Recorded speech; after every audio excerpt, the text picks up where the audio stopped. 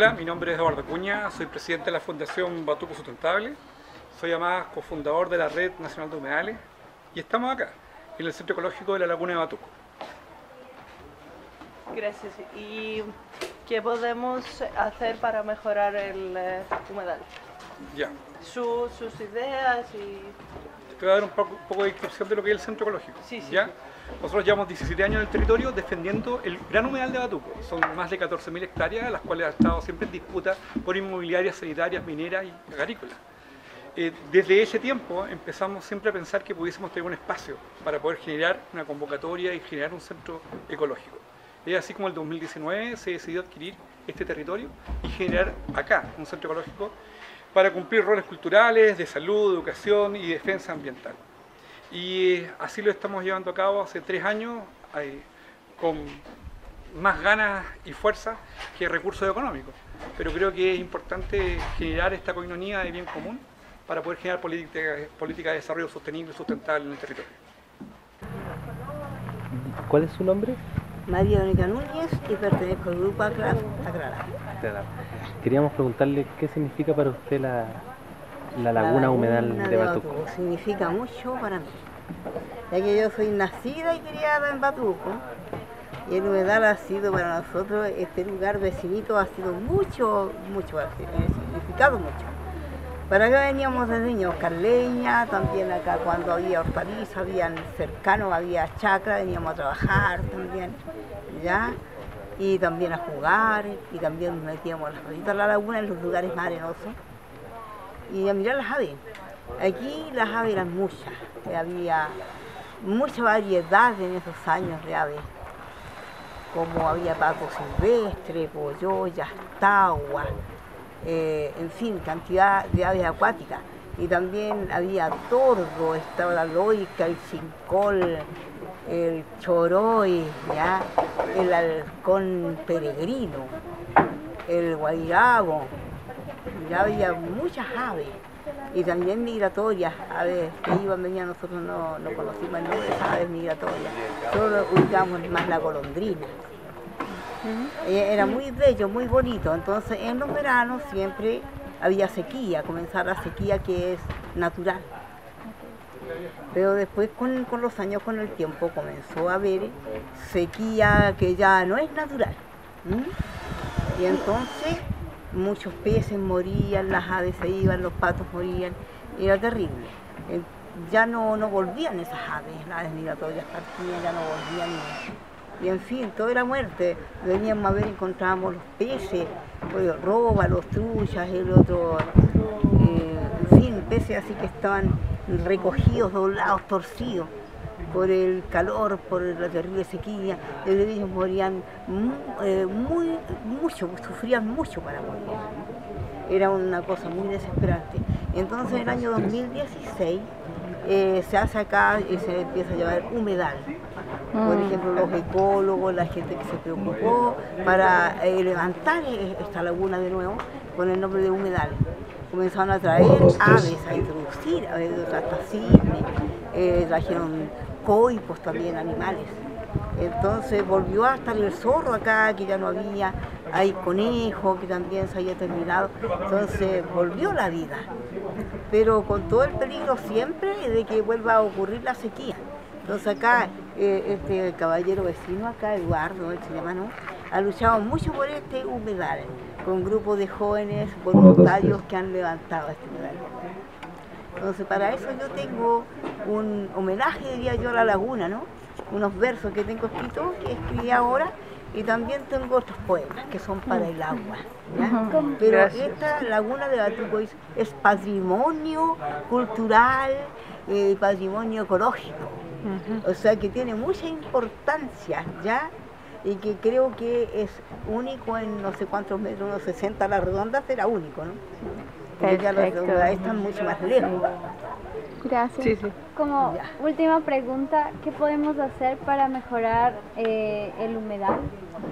Para mejorar es importante cerrar Yo no sé si hay fondos de la municipalidad o hay fondos de otro lugar o simplemente pedirle a la población que cooperemos, aunque sea con mil pesos cada uno, para cerrar, para que no entren los perros. Nosotros tenemos que cuidar que nuestros perros no salgan a la calle y no se vengan a lugar. Yo vivo lejos, el perro mío no se vendría para acá. Pero igual uno tiene que decir, tenemos que cuidar que nuestros perros no salgan, porque hacen daño a los patos, hacen daño a las a, a todo tipo de aves que hay acá. Entonces yo creo que eh, fondo ha de haber de la municipalidad de alguna parte. O los, los dueños acá, si algo tiene dueño, creo que hay dueños que podían también cerrar. Cuando dicen que a ellos no les conviene, me decían a mí, pero estas son palabras nomás que uno escucha que no tienen mucho fundamento, o no está segura de que lo tengan, de que eh, no quieren cerrar porque después la gente abre de nuevo. Pero si es un buen cierre no lo podían abrir. pues. La cosa es que los perros no entren a matar patos y otras aves. Eh, ¿Qué otra forma de cooperar? Que a uno le piden su granito de arena y no puede cooperar. Que según lo que se le pida a uno. Claro. Si le piden dinero, pues, podrá cooperar como entre unos mil o cinco mil, algo cooperará. Y si le pide un gran arena, un verso, un canto, algo también puede ser para entretener a la gente y para que la gente se interese y se entusiasme con venir, que vaya aumentando la cantidad de gente que se interese, porque siempre somos pocos. Entonces, con esto del arte, la poesía, el canto, lo- las payas, los, qué sé yo, los chistes, todas esas cosas que sirven para que la gente se entretenga. Yo digo que todos deberíamos participar, todo el que, que aunque por último ni sepa cantar, que cante igual. Pero con- la participación es buena para todos, todos debemos participar, porque es importante que así nos sintamos juntos, unidos, que podamos levantar la cultura de alguna manera, ya que se está yendo tan al suelo la cultura. Y si no hay fondos, bueno, nosotros como so- somos humildes, somos pobres como sea, pero también podemos colocarnos con nuestro granito de arena. Y digo, si fuéramos, nos conociéramos más y nos siguiéramos reuniendo, entonces un día en la casa de un amigo, otro día en la casa de otro, un compañero, un ecólogo, qué sé yo, que estemos todos juntos y nos apoyemos en torno a que esto no se pierda, que la laguna siga en pie y estar siempre colaborando para que prospere cada día. Y esa es la idea para un buen futuro, digamos, de la laguna. ¿Mm? Muchísimas Perfecto. gracias. Gracias. Gracias. Gracias. Ya. Y muchas gracias a usted por contar conmigo. Eh, darle las gracias a todas las personas por compartir su tiempo eh, y sus experiencias en este encuentro. Eh, espero, esperamos que sea provechoso y nada, un aplauso y mucho ánimo para compartir esta, esta velada. Y gracias por también asumir, eh, bueno, a Eduardo también, por supuesto, por abrirnos el espacio y, y- por conocer también y todo lo que, lo que vamos a hablar acá. Eh, Elías, partimos entonces con la, eh, el conversatorio, ¿cierto?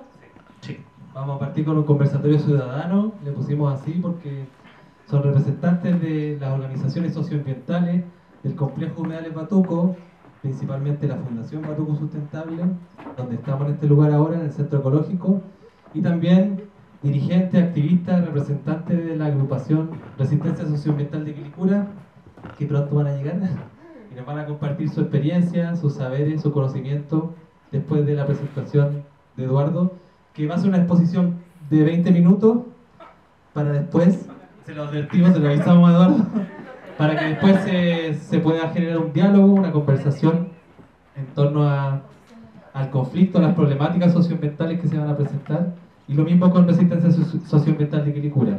Luego de eso, eh, Eduardo, que es nuestro profesor del Diplomado de Internacional de Verano, bueno, eso contarle un poco antes a los chiquillos de Cobrigada, chicos Mahuida, a la gente de Agralán, ya le introducimos un poco. Me faltó algo, Parálisis. sí, parálisis mental. Disculpen también, siempre presente en actividades como esta. Muchas gracias por estar acá. Sí, son un medio de comunicación independiente de aquí de la comuna de Lampa. Eh, somos parte, de- eh, nosotros estamos pa- participando en un diplomado internacional de verano en el cual tenemos que crear un producto audiovisual, un producto, una narrativa transmedial. Ahí el profesor nos va a contar después en esta intercambio de experiencia que viene después del conversatorio. Y después la actividad sensorial participativa como les comentaba. Así que hago el llamado a los chicos de RCQ para que se acerquen, para que también puedan escuchar la presentación de Eduardo y la conversación posterior y nosotros a ustedes también escucharla. Eh, eso, los dejamos con Eduardo, él tiene una presentación, ¿sí? Ahí vamos a ir corriendo las, las diapositivas. ¿Será necesario el micrófono? Yo creo que no, ¿cierto? Eh, ahí. es bueno para la cámara. Eh, bueno, como me dijeron que era un diplomado internacional de verano, no, la presta- esta presentación no es tan guerrera como otras presentaciones. ¿ya? Es más que nada matizada respecto al conocimiento que es el territorio de Batuco. ¿ya? Hace más o menos 12, 15 años que estamos apoyando al curso de humedales que se ha, hecho en varias universidades. ¿ya? Todos los años hace dos, tres veces esta es la presentación de traje de 21, pero tenemos otra más reciente. Y eh, ahí vamos a conocer lo que es el territorio. ¿Ya? Vamos bien rápido en la, lámina. ¿Ya? Bueno, todos sabemos lo que es un humedal, ¿o no? Sigamos.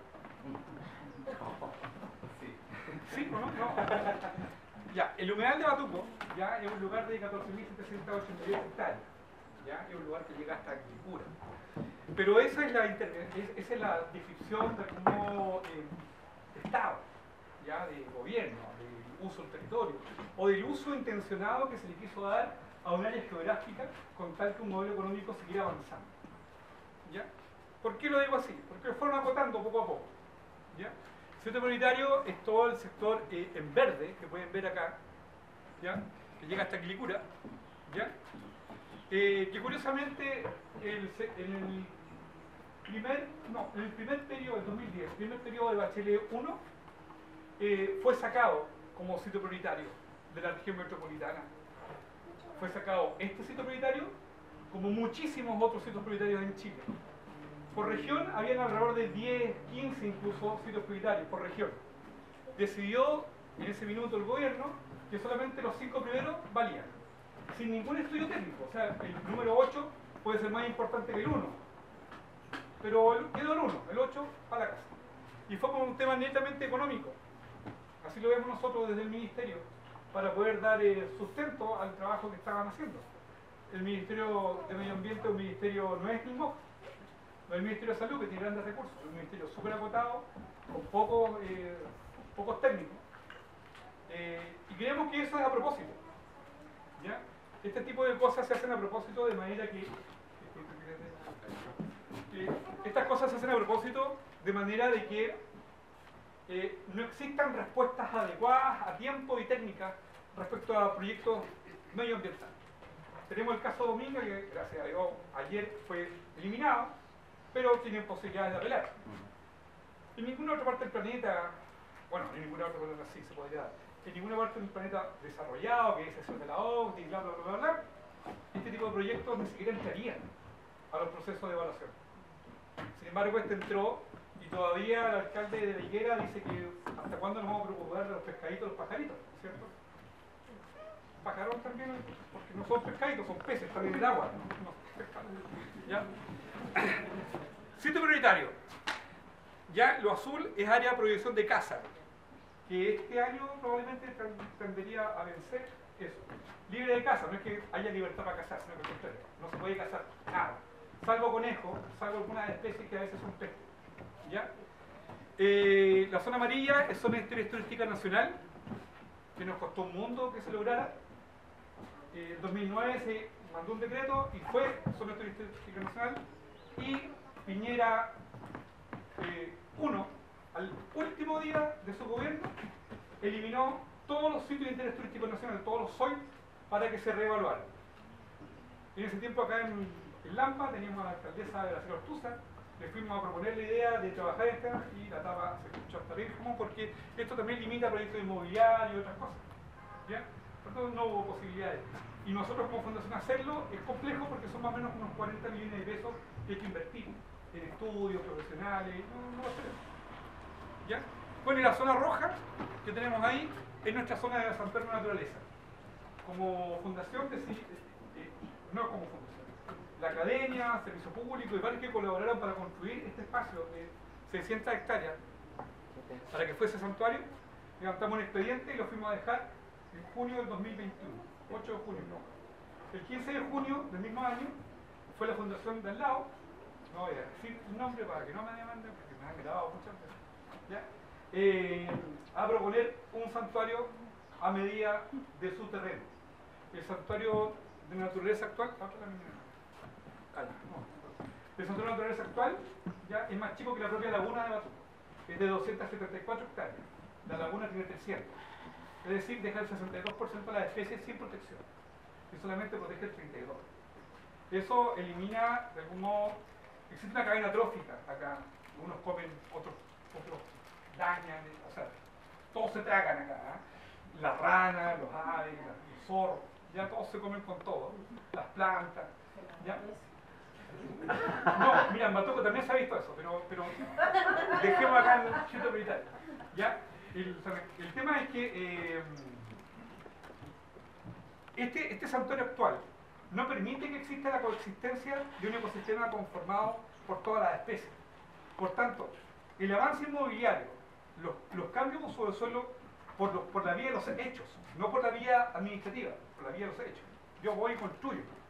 Si después viene la autoridad municipal a sacarnos parte, lo pago. Y así van avanzando.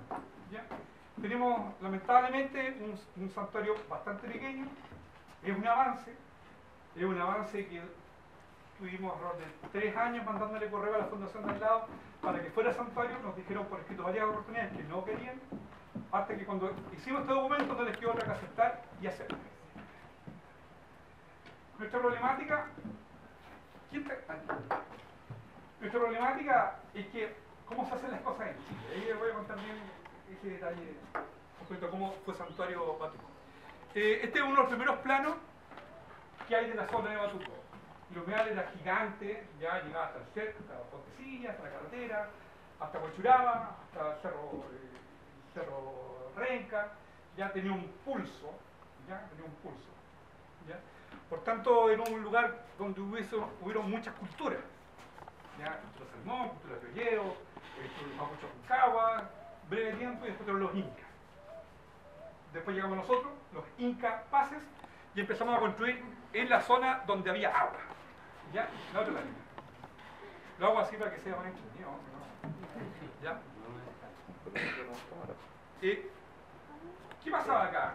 Teníamos una serie de, de, de, de estructuras eh, geológicas y ecosistémicas, como bosque, fauna, había mamut, varias cosas, estamos hablando de la época del Cretácico, ¿ya?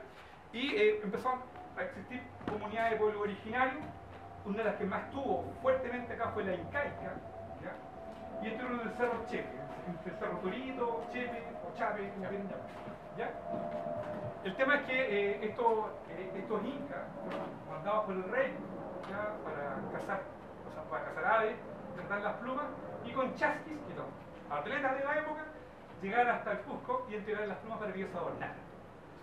Ellos habitaban el sector de acá, que desde la torreta lo podemos ver, que es una quebrada donde hay un bosque de espinos, aún se mantiene.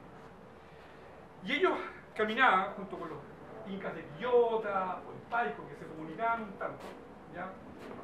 Eh, ¿ya? no se comunicaban tanto con los de Chicauma porque el Estero Lampa era un río, ¿ya? y es por esa causa de que Pedro Valdivia, cuando los incas se rinden a la, iglesia, ¿ya? Pedro Valdivia tenía Chile libre para sacar, no tenía cómo sacar, y lo saca finalmente por un camino que ellos ocupaban, que es el camino al medio. Este camino era un camino que partía, como decía, en ese sector había muchos caminos del Inca, no hay uno solo, pero este camino era el único que ocupaban estos incas para llegar al Gran Tambo. El Gran Tambo es el submercado que había en la época, ya no hacían trueque, intercambio, el Gran Tambo es la vega central actual. Hay tanta madera, acá como se inclusive los huevos, ya para hacer el almaza acá de clara ya con cal ya, y canto. ¿ya? ¿Qué otra termina? Se cayó un avioncito, ya, y lamentablemente por ahí por el 58, ya, un avión venía en llamas desde el aeródromo Cerrillo.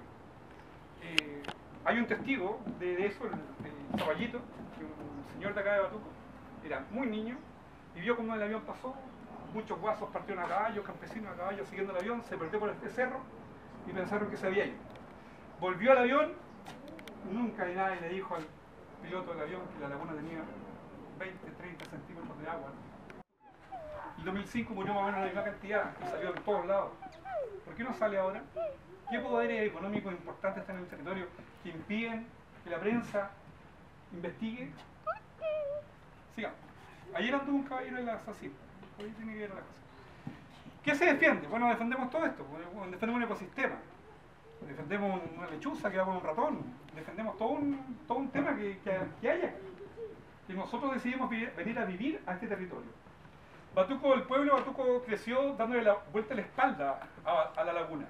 Por culpa de la laguna nos inundábamos, por culpa de la laguna había un zancudo, por culpa de la laguna. De hecho, la primera lluvia que había en el territorio era la lluvia de los martillos. Se llamaba la lluvia de los martillos. Y cuando llovía, todos los techos volaban porque había mucho viento.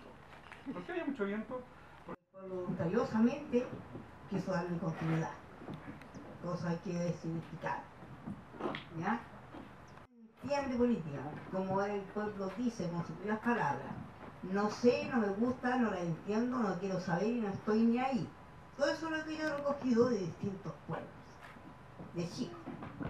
Entonces, van y votan. Y hay muchos que no votan, pero ahora con el, con el voto obligatorio, todos fueron a votar, sin ninguna clase de conocimiento político, sin ninguna clase de conclusión sobre los temas, las cosas los horrores que han ocurrido en este, país- en este país.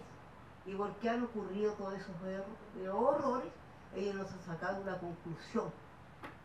¿Por qué luchaba el pueblo? ¿Qué quería el pueblo? ¿Qué querían los gobernantes que fueron excluidos de la política? ¿Ya? Los buenos gobernantes y los buenos, porque hay buenos políticos malos políticos, a las puertas del cielo. Es más fácil que entre un camello un ojo una aguja que un rico a las puertas del cielo. Pero todos los días entran camellos por ojos de aguja porque ellos viven en el cielo. Ellos tienen el cielo para ellos, nosotros ¿qué tenemos con el infierno? Tenemos miseria, pobreza de toda clase, ¿ya? Falta de educación, falta de cultura, falta de conocimiento. Y nosotros no podemos hacer nuestra pega sin conocimiento. Por eso es tan ñecla nuestro trabajo.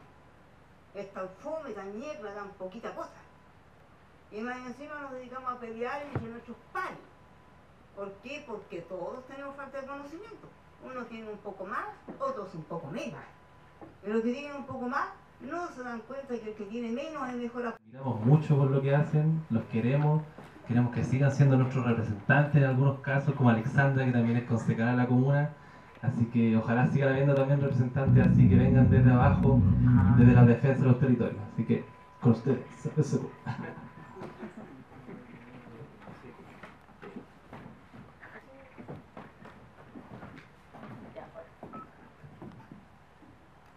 Ahí sí.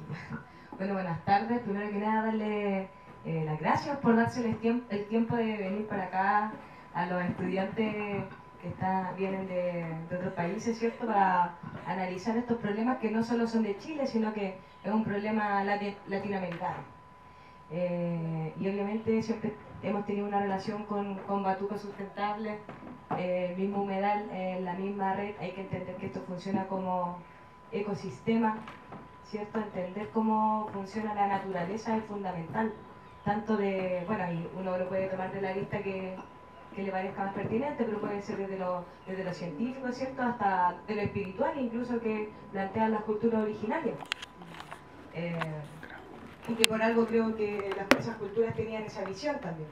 Y la ciencia también así lo, lo demuestra. Esto no funciona por sí solo, no, no va a reservar solo un espacio del, del humedal, sino que esto tiene una red de cuenca. Y, y bueno, nosotros venimos de, de un territorio que es de Quiricura. Quiricura es una zona de sacrificio, somos la zona industrial más grande de, de Chile. Y eso tiene implicancias. Y vecinos ya nos hemos dado cuenta de eso, es por eso que nace eh, esta organización después del estallido social. Muchos vecinos que mirábamos el humedal, veíamos las garzas de cómo el- los proyectos inmobiliarios avanzaban, eh, nadie hacía nada. Entonces el estallido fue un espacio donde pudimos conocernos, vecinos y vecinas que teníamos esta visión. Nos permitió eh, eh, unirnos en torno a una problemática. En Quilicura teníamos la problemática bueno, de una planta sanitaria, que fue lo que más eh, movió a la comunidad, una planta de agua servida de una empresa súper cuestionada, que iba a afectar nuestra calidad de vida y que este proyecto estaba emplazado sobre los humedales. Y, y inicialmente esta organización nació con la lógica de informar a los vecinos y vecinas sobre esta situación y sobre todo lo que le decía a la vecina acá, de también dar la herramienta y facilitar eh, poder colocar eh, nuestra opinión, expresar lo que pensaba la comunidad sobre este proyecto, porque hay espacios de participación ciudadana que si bien no son vinculantes, de colocar observaciones y que estas observaciones tenían que ser con un enfoque técnico, ¿cierto? Porque por ley la empresa tiene que responder todas las dudas o problemáticas que, que vean afectadas sus vidas. Y muchos vecinos no sabían de este espacio. Y el municipio no tenía un equipo fortalecido con respecto a estas temáticas. De hecho, a partir de estos conflictos y las protestas que hicieron los vecinos, reuniones, es que se genera un nuevo departamento en el municipio, que es la Dirección de Gestión Ambiental, y claro, busca este enfoque, pero que esto se logra a partir de la organización, de la información, de eh, autoformarnos cívicamente a cómo funciona esto y también nos permitió tener tejido social. Porque esto, como insisto, eh, la gracia del medio ambiente y por qué convoca es porque es transversal. Tiene que ver con la calidad de vida, con la salud, eh, con incluso salud mental, con espacios de esparcimiento que Quilicura no tiene. Y, creo que eso generó que los vecinos se interesaran en este tema. Y obviamente la organización, al avanzar, nos damos cuenta de que, como decía Eduardo, esto tiene que ver con cosas políticas, con poderosos. Cuando empezamos a darnos cuenta, a ver quiénes son los dueños de los humedales, los terrenos, pero Yomans, ah, ya. y ahí empezamos a investigar y, y tratar de, de, de, de, ver en el fondo con otra perspectiva esto. Es por eso que también nace la, la idea de, de apoyarme a mí como concejal con la idea de colocar estas palestras y incomodar a quienes toman las decisiones. Eh, con... Es fotógrafo, es nuestro fotógrafo oficial, Alex Rodríguez, búsquelo, el mejor fotógrafo de Chile. Eh, eh, saca las tremendas fotos de los humedales y le van a entregar un trabajo. La idea de esto, la idea de esto son pequeños lugares de Quilicura y también eh, de los humedales y también de algunas aves que habitan los lugares.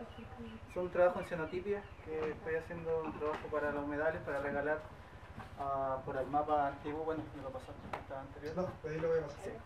Donde está la historia de la comuna y el nombre de la comuna, de dónde viene y, y qué hay detrás de todo eso. Claro, mientras mis compañeros lo comparten, justamente les voy a explicar eso de, de hacer una introducción con respecto al tema. Bueno, el plano que vemos acá, esto es Quilicura. Y esto que se ve en verde es el sitio prioritario del humedal de Batuco. O sea, son, es una extensión sumamente gigante porque antes Lampa, Colina, Quilicura, todos eran una gran laguna. Y bueno, en el año creo que 2013 por ahí la exintendencia generó un programa como de biodiversidad y señaló que el humedal de Batuco, que eran más de, de 10.000 hectáreas, eh, se consideraba como sitio prioritario número 6 eh, lo que realmente no implica ninguna protección legal, sino que es como es solamente en el papel decir que es un sitio prioritario, lo que no implica nada más. Bueno, pero parte de este sitio prioritario llega al humedal de Quilicura, parte del humedal O'Higgins y parte del San Luis Norte.